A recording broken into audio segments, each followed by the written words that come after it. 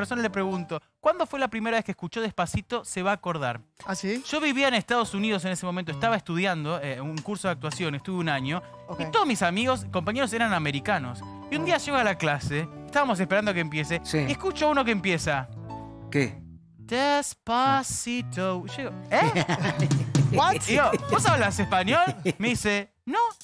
Era una gringa, gringa, gringa, gringa, gringa. Eh, De Washington. Le digo, pero el nuevo tema de Luis Fonsi con Justin Bieber. Y yo dije, ese es mi idioma. Y te juro que, más allá del chiste, hubo una cosa, yo estando tantos meses afuera de, de mi país, extrañando el lenguaje, escuchar eso, una vez a la distancia, toma, toma eh, como realidad de lo importante que es que, que- que la inclusión de las culturas eh, esté. Y con ese tema fue una locura, porque fue la unión de dos grandes. Digo, más allá de que se rompieron todos los récords y que obviamente va a ser un tema que imagino que te debe generar mucho orgullo y demás. Claro. eh, hubo algo de eso, ¿no? También. Sí, un- eh, fue algo completamente inesperado. eh, a- un- marca un, un antes y un después en, en- en mi vida en general. O sea, mucho más allá que mi carrera y lo que uno logra a nivel profesional en, en mi vida, porque conocí a otro lado del mundo que, que no conocía con, con mi música, ¿no? Eh, trabajar con, con Daddy Yankee, luego trabajar Claro. con, con Justin. eh, poder representar a, a mi tierra, a Puerto Rico, poder, poder representar nuestro idioma Sí. a los latinos. Eh, fue una gran responsabilidad, pero como que me, me lo disfruté al máximo, eh, celebrando lo más rico que, que es la música. A mí me pasó algo similar porque yo, yo nací en Puerto Rico, Claro. me crié en Puerto Rico, pero viví muchos años en los Estados Unidos, En Orlando, ¿verdad? en Orlando. Y tengo muchos amigos americanos que obviamente sabían que cantaban y sabía, ellos sabían que tenía éxito, pero no... No, no dimensionaban, claro. Como que no lo entendían. Mm. Yo creo que hasta pensaban que, que yo le estaba mintiendo. claro, y de claro. repente, co- con, Despacito, me decían, tú, tú, tú cantas de verdad. O sea, no, no era mentira Y lo que estabas hacía- diciendo. Y yo así como Sí, que, sí, bueno. claro. amor, sí, sí. Claro. No, pero, pero fue bonito. Fue, de verdad que miro hacia atrás, 2017 fue un año Sí. lleno de muchas bendiciones. Fue el año que nació mi hijo, eh, justo con, con el lanzamiento de la canción, así que eh, doble, doble bendición. Trajo Rocco, trajo más que un, que un pan abajo del brazo. Es una frase que se, trajo saca en el, el Argentina. choripán del Ahora, yo te digo una cosa. Lo que yo no puedo creer. Mira, más allá de que sea la, la canción récord del mundo, Sí. creo que lo que te hace más particular a vos, y ¿Qué por lo que siempre te vamos a recordar, yo al menos de ahora en más, es que tus dos hijos nacieron el mismo día. ¡Posta! Con años de, con años de diferencia. Los dos hijos cumplen el 20 de diciembre. Mira. Muy bien. Ahora, un relojito, ¿eh? ¿Cómo está Fonsi? Mi amor. Bancá que llego. Ahora, yo pensaba la cantidad de cosas que eso facilita.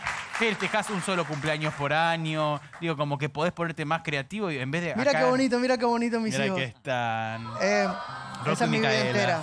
Ahí es mi vida entera en esa foto. Sí, eh, ambos nacieron eh, cinco años separados. El mismo día fue parto natural. Obviamente no es algo que, que claro se que se planificó. programó, claro. Eh, pero sí, es, es un día. Además de que diciembre 20, ya es Navidad. Claro. Ya, ya casi siempre me tomo esos días libres. Así que eh, lo, lo celebro al máximo porque yo, yo soy súper familiar. Esa, esa es mi vida entera. Mira, acá está, ahí está, veo, veo que te gustan las fotos. Tengo unas fotos espectaculares acá. Ay, mira no griten mucho eh, las, las fanáticas, por favor. Pero A ver.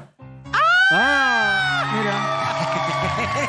Con todo respeto, estaba gritando por el asado, pero si viene con vos espectacular, Luis.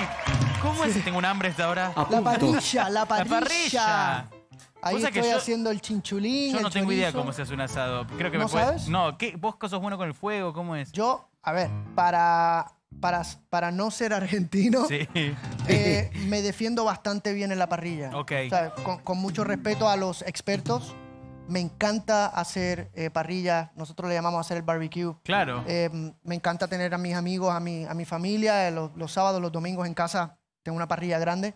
ah, eh, bien. y me queda relativamente bien. Vamos todavía. ¿Qué- ¿Con qué me sorprendo acá? Mira esta fotaza. Mira. El maestro Juan Luis Guerra, residente. Eso fue, eso fue en unos. Grammys, si no me equivoco, eh, ahí con, con amigos y, y genios eh, de géneros diferentes. eh, René, Residente, Sí. mi artista favorito de todos los tiempos y, y el, el gran tío Juan Luis Guerra. y Juan, que, que lo, lo quiero muchísimo. Juan es, es uno de los, de los míos también. Y aparte vos tenés una, una cualidad para mí como artista, que como haces todos los géneros de manera maravillosa, eso te, te- te da la posibilidad de hacer colaboraciones con artistas de, de todos los colores. Sí, es bonito. Eh, y eso creo que también eh, abrió un camino. Porque hoy, al menos acá en Argentina y en, y en toda la región, las colaboraciones están de moda, como se dice. Y es Sí. algo muy bueno porque hay como una camaradería en la industria. Totalmente. ¿No? Para, para mí la, una colaboración es una, es una celebración, ¿sabes? Es, es una unión, es, es una fiesta, eh, especialmente cuando, cuando se mezclan géneros eh, o generaciones. Exacto. Por ejemplo, cantar un tema que, que escribí junto a, a una argentina que quiero mucho, que se llama Claudia Brandt. Sí. Eh, escribimos un tema eh, para mi hija, para el nacimiento de mi Ah, hija, ok. se llama Llegaste tú. Y, y lo grabé con, con Juan Luis Guerra. Poder hacer esa canción junto a Juan Luis fue, fue un, un gran logro, ¿no? Además de que es como una bachata romántica y Sí, fui claro. a, a- a Santo Domingo a grabarla con Juan Luis. Son como sueños cumplidos, ¿no? Porque Hermoso. son gente que, te, que a mí me, me- me influenció muchísimo. Ya poder estar ahí con él creando en el estudio fue, fue algo muy A bonito. ver con qué me encuentro aquí. Cuidado, Con Fernando. Justin. Justin, claro. sea, te digo una cosa. Justin. Ja- Justin es de Pisces, para que sepas, no te olvides nunca. Ok, Acá ok. se hizo muy viral esa frase de una fan, una así como una foncista, pero que dijo, Justin es de Pisces. Acá. Y acá siempre lo sabemos. No sabía, pero ya lo sé. ¿Qué onda, Justin? Bien, eh, increíble. Ah, Justin em, agarró la canción en un momento que la canción ya estaba funcionando Sí. muy bien en, en muchos países, pero, pero nos abrió muchas puertas en, en otros países donde de repente eh, Yankee y yo pues no, no somos tan conocidos. O sea, estoy hablando de Asia, claro. de Australia.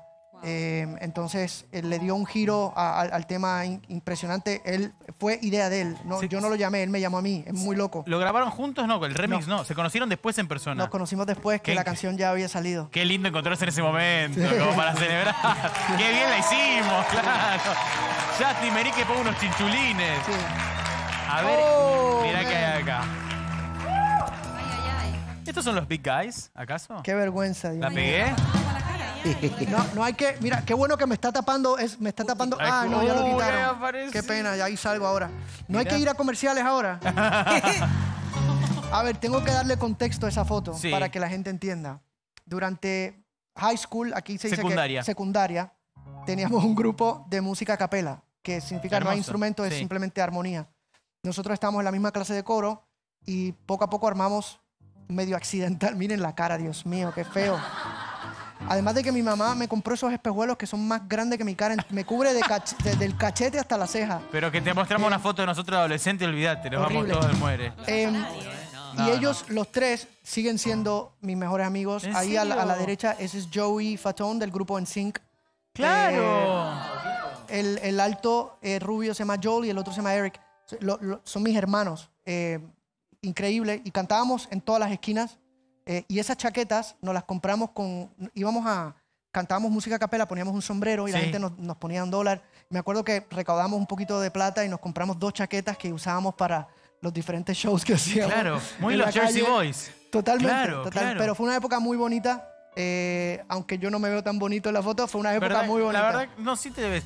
Fue, fue difícil la transición, digo, de Puerto Rico a Orlando. Digo, llegaste y no hablabas inglés, ¿verdad? Hablaba muy poco inglés. Muy poco, claro. Muy, muy poco y, y obviamente... ¿Qué edad tenías, Luis? Tenía Fonsi. 11 años. No, tranquilo, No, tampoco no, no, es que me moleste. decir. Eh, tenía 11 años. eh, fue un poquito difícil porque, pues, obviamente empezar de cero en, en un lugar donde uno no conoce a nadie. Sí. Yo era muy tímido eh, y, y yo no me quería ir de Puerto Rico. Pero por suerte uno es joven, uno aprende rápido el idioma. El grupo me ayudó mucho porque ahí ya empecé a conocer a las niñas en la escuela. Claro, y el flow. Y perdón, pero sí, eso que acabas de ser vos, un gringo no lo puede hacer. No, te ponen a bailar no, no así, te hacen este. Claro, viene. Fonsi y te hace tiqui, tiqui, tiqui, tiqui, tiqui, tiqui, olvidate, va fácil. ¿O no, muchachas? Dios mío. A ver. Ay, mira, con... No, mentira. ¿Con quién? Ese es un, eh, un monito. Eso fue en. Creo que fue en Dubai. eh, estábamos de gira. locura. eh, fue en el Medio Oriente, uno de esos shows hermosos Ah, mira, ahí que, está. que uno, que uno hace, ¿no? Que Me bastante encanta que le diferente está a lo que uno está acostumbrado. está abrazando Sí, él. súper cariñoso el, el, el monkey, el ¿Cuál fue monito. el lugar más raro en el que te encontraste cantando y dijiste, no puedo creer que esté cantando acá que la gente sepa mis canciones? Rusia, yo creo. ¿En serio? Sí, cantar en, cantar en Rusia Wow. fue así, hubo- fue un momento así como que, ¿qué? Rayos hago yo aquí Claro, en claro. Rusia? ¿En qué momento? ¿Qué ¿Cómo, pasó? cómo los rusos van a, además de que hice varios conciertos completos, de principio a fin, cantando baladas, cantando... sí. Y, y los rusos estaban ahí, yo creo que ellos no entendían ni papa, pero estaban Pero ahí. bien. Mira, acá. Ay, Mira, Ahí fotón. Con Delia, es ¿verdad? mami, mami, sí. Delia. Qué lindo. Esa es mi mamá, eso, eso es lo, lo más, lo más bello que, que existe en el planeta, mi mami. Le dicen Doña Tata. Ustedes conocen a mami, ¿verdad? Sí. Sí, Un beso a Tata. Me ves Sí. a Tata. sí, yo, yo amo a mi mamá. Soy, te- tenemos una familia súper unida, así que soy súper unido a mis papás. Qué Y a mis hermanos también. Sos de lo que hablan diariamente, se manda mensajes. Totalmente. Y si no la llamo, si pasan dos, tres días, me llama y me regaña. Claro. ¿Qué tú te crees? ¿Por qué no me llamas? Mami, perdóname. qué te me pensás que llamando. A mí no me importa Fonsi, si estás llamando, claro. me, me tienes que llamar. sí. Me encanta. Sí, ¿Usás sí. WhatsApp? Sí, Ah, sí, pues viste que allá no, no usan mucho en Estados Unidos el WhatsApp, pero no entiendo por qué. ¿Y qué es muy usan? fácil. Sí, e- es una pelea que tengo con mis amigos americanos. Ellos son más de, de- de message. Yo Claro. digo, pero usen WhatsApp, es mucho más fácil. Armamos un grupo, le ponemos los chacales, algo Están- así. Claro, Se pone, se pone. claro. Acá, mira. Disculpame. No, mira. ¿Qué? ¿Con ¿Qué? Tremendo. La princesa. Esa foto. Hiciste una gira con ella, ¿no? Hice, hice una gira con, con Britney. No me preguntes por qué decidí ponerme esa camisa eh, ese día. Olvídate, del pasado nada se juzga. Pero sí, hice- estuvimos como, como tres o cuatro meses girando, Wow. a- abriendo los shows de Britney. Y fue una experiencia increíble porque yo estaba empezando mi carrera. Y le estoy cantando a un público mayormente anglosajón, anglosajón, 100%, gringo full. 100%. Eh, entonces fue, fue un reto cada noche tener que, pues, que se conecten conmigo, porque al final del día ellos pagaron su ticket para ver a Britney, no para ver a este loco. Sí, sí. Este, pero, pero la pasé increíble y ella fue muy, muy dulce con nosotros. Vos sabés, Luis, que uno te ve hoy. Yo escuchaba una entrevista hermosa que te hizo hoy Nati J en, en- en Olga a la mañana. Sería Sí. increíble que les mande un beso. Sí. Y algo que decías vos muy lindo es que todo tu camino en, la car- en tu carrera fue progresivo. Que tus primeras dos canciones no fueron un hit. Para nada. Digo, que hubo algo ahí de trabajo constante. Y hoy, en Argentina, se habla mucho y en el mundo también de la angustia o, o la ansiedad que le generan los nuevos artistas que con una canción de repente o por las redes, por TikTok, lo que sea, consiguen una fama mundial sí. y después cuesta mucho lidiar con eso. Vos hoy con 25 años de carrera siendo un artista increíble y un músico tremendo, ¿qué opinión te, te genera? Yo, yo creo que si, si tu primera canción, si esa primera canción que uno lanza se convierte en un hit, muy bien. Yo creo que todo, yo hubiese querido que mi primer single Sí, claro. hubiese tenido los números que, que- que tiene eh, No me doy por vencido, exacto. que tiene Despacito, que ti- pero no fue así. Em, por, por suerte entendí lo que es trabajar paso a paso, picar piedra, mantener los pies en la tierra, celebrar lo- los pequeños triunfos, aprender de los pequeños fracasos. Eh, y, y 25 años después, como que, que siento que, que he logrado cosas muy importantes, Muy. pero nunca he perdido el piso, como que eh, me, me he disfrutado el proceso. Eh, ahora, hay, con todo lo que está pasando de las redes, veo que, que colegas con un hit de repente tienen el mundo entero y, y me encanta. O sea, Sí, yo no, no me pongo celoso ni, ni, ni lo veo como competencia. Yo creo que si, si, le- si te va bien, es bien para todos. Como que Por en esta supuesto. carrera no, no es como en los deportes que uno gana, el otro pierde. Yo creo que todos ganamos de- del éxito de los colegas y me encanta que las nuevas generaciones están rompiendo. ¿Y qué, qué pensás de esto de la por ahí la angustia o la ansiedad que genera tanta exposición tan rápido? ¿Viste? Me acuerdo Duki que en su conferencia de prensa acá, cuando anunció su River, dijo que, bueno, la, la abandonó, de hecho, como, porque ¿y ahora qué? Es- ese vacío que, que se genera. Yo creo que todo está en cómo uno lo, lo absorbe. Hay gente que, que llega preparada para esa fama, para esa locura, para ese ritmo de trabajo y, y saben cómo lidiarlo y hay gente que, que pues lo, lo, Claro. lo- lo- lo vuelve un poquito que- loco. que ¿no? no tuvo ni el tiempo de prepararse tampoco Claro, para eso. Yo, yo le doy mucho crédito a mi familia, que todavía los tengo cerca y todavía me llaman y, me- y me, y me regañan Mm. cuando, ¿me entiendes? Cuando sienten que hay que regañarme, me aconsejan mejor, me- me- mejor que regañar. Que la música para mí llegó desde los cuatro años.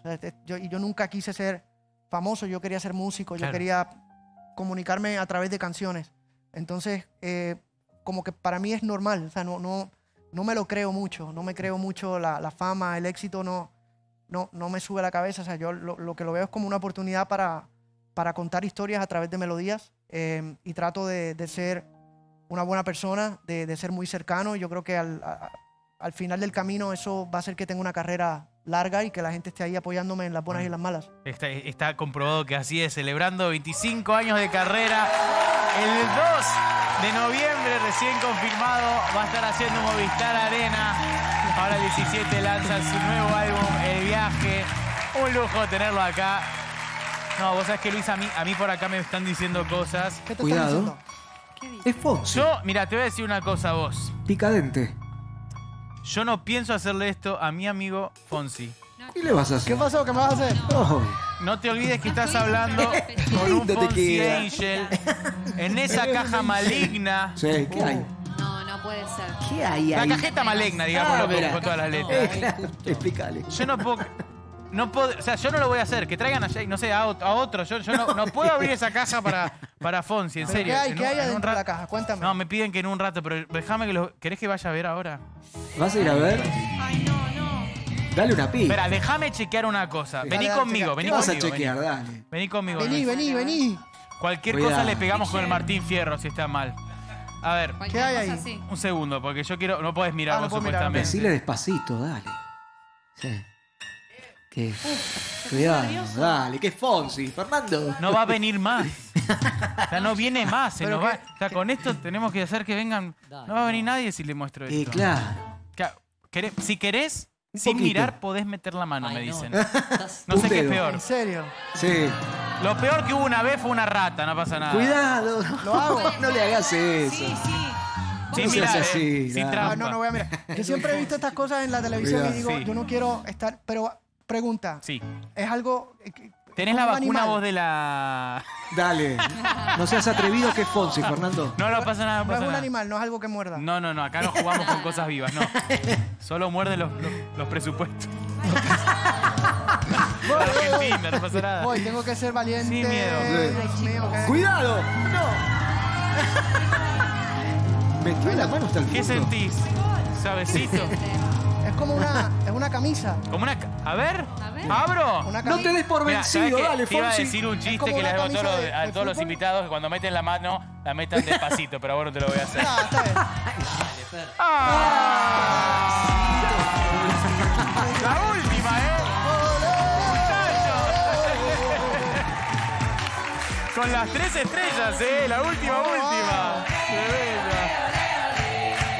Fonsi. Vamos para allá. Fonsi, querido, voy a agarrar unas paletas que tengo acá. Porque a mí lo que me gusta en este programa, an- antes de despedirte, que sé que te tenés que ir, eh, es aprender un poco de cultura Me general. encanta. Y a mí, yo siempre quise ser un puertorriqueño hecho y derecho. Sí. Ay, Dios. Pero, por ejemplo, y yo te digo, qué fuerte esta. Es ¿De un, arroz con, es un arroz con culo esto. Dios mío. ¿Qué es A eso? ¿Qué significaría? Tengo- ¿Qué? Tengo que aclarar, por si Sí. acaso alguien está viendo esto de Puerto Rico, que digan, Fonsi, fuiste a Argentina a, a decir Sí. esas cosas. No, no, no, fui yo. Yo estuve Ah, averiguando toda Sí. la tarde, digo, frases que es de Puerto Rico, que si yo voy a Puerto Rico quiero quedar como un local. Y digo, la verdad que es un arroz con No, culo esto. ¿Pasado ¿Pero o ¿Qué a punto? significa? Culo, culo es una palabra fuerte para nosotros. Para nosotros también. Ah, ok, ok. Por ejemplo, en, en la televisión en Puerto Rico uno no puede decir. Acá tampoco. Ah, Sí. Ok, ok. Acá está, mirá, te lo digo yo. Eh, ¿Qué sería? eh, arroz con. Con Es nulo. como decir, se usa como cuando hay un. Aquí hay un desorden, hay un quilombo. Sí, la situación es un desastre, exactamente. Por ejemplo, esta. Se me pegó la frisa, la verdad. ¿Qué onda Eso- con eso? ¿Se entiende acá o no? No. Como cuando uno no se quiere levantar de la cama. Ah, la pereza. Llegas tarde al trabajo. Quedarse dormido. Yo diría, tengo paja, no básicamente. ¡Oh! ¿Y esa? Se lo llevó Pateco. ¿Cómo? Caduco. ¿Qué es eso? ¡Se murió! Chicas, ¿me bien esta? Porque La quedó. Fue con los panchos. Ruso, ¿Qué? estás hecho una batata. ¡Ey! ¿Qué Está es hecho eso? una batata. ¿Cómo se dice aquí? ¡Sos un vago! ¡Sos un ¡Ey! Esta ¿Se me... puede, se puede decir? Esta está bien. ¡Sos un vago pelotudo! Que esta me encanta. Esta voy a dejar para el final. Sí. Estoy empolismado. ¿Qué Eso, sería eso? eso no sé qué es. Ah, mira, tener qué? fiebre. Ah, Mira, Eh, claro. Yo esta, no sé si sabes vos, ¿Está caliente? acá No, dale. es difícil esta. ¿Cómo? Fernando. Por favor. Es un montón. No, depende, ver, chicos. Esto, Y esto claro, para mí no, no. tiene ningún significado malo. Ser chota es ser como...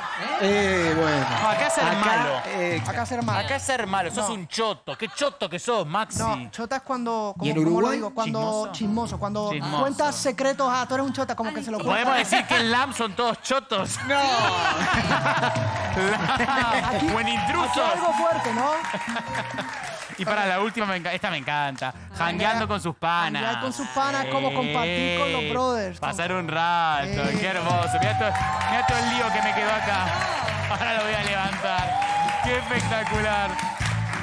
Luis querido, 2 de noviembre en el Movistar Arena. Luis Fonsi presentando su nuevo álbum. Qué lindo. Mira, cumplimos años el mismo día. Gracias por ser mi regalo. Felicidades. Y Es que quiero cumplo año que- el lunes. Cumplo Ya sé, sos, sos ariano, estuve charlando todo con tus fans. Y Sí. una fan me dijo allá, porque Sí. cuando me acerqué le dije, decime una que con esta lo mato. Me dice, hay una canción Sí. que él escuchaba en el auto con su papá cuando se mudó de Puerto Rico a Miami. Una canción de Cher que Ajá. se llama After All. Ah, una balada bien bonita. Eso con- es verdad. Con, con Peter Cetera. Exactamente. Sí. ¿Dije bien? Porque ella me dijo decirle eso y, vas, y, y- Sí, dijo, es verdad, es ¿Cómo verdad. me doy cuenta que ustedes son fanáticas, fanáticas Lo de saben Fonsi? Todo, dice, lo saben todo, por tienen eso que las amo tanto. esto. Oye, muchísimas gracias. Quiero, quiero decirle a todo el mundo que, que me está viendo que las entradas al concierto todavía no están a la venta. Ahí. Hoy, hoy lo anuncié por primera vez. En los próximos días ya saldrán a la venta. Obviamente en mis redes yo les dejaré saber, pero 100% va a ser en Movistar Arena el 2 de noviembre. Exactamente. Y el 17 de mayo sale mi disco El Viaje, que ha sido un viaje hermoso y le doy las gracias a todos ustedes por ser parte, ser una pieza muy grande de ese rompecabezas que ha sido este viaje. Eh, todo Argentina, obviamente comenzamos el viaje con Buenos Aires, que eso es algo que me ilusiona mucho. Eh, y les quiero dar las gracias, de verdad, por, por ser parte de, de mi vida, de mi música. Todo más. Solo más, de todo corazón. Gracias. Te quiero agradecer muchísimo, Gracias. muchísimo por haber venido. Es muy importante para nuestro programa. Eh, gracias a los músicos, A todos los que lo hicieron posible, de verdad. A la banda. Sabemos que tenés compromisos, que sabemos que estuviste todo el día desde muy temprano, así que valoramos muchísimo cuando tranquilamente podrías no haber venido y haber descansado para seguir todo lo de mañana, No, haber venido. Así que un aplauso enorme para Fonsi, que pasó así por Noche al Dente. Muchas gracias. corazón. La próxima te espero acá, hacemos recital, karaoke, todo. Todo. Para el 2 de, Todo, 2 de todo. noviembre en el Movistar Arena y el 17 de mayo sale el viaje ahí esperando, ¿eh? Sí, querido. Gracias, papi. Bendiciones. Muchas gracias. Gracias. Nos despedimos. ¡Maravilloso!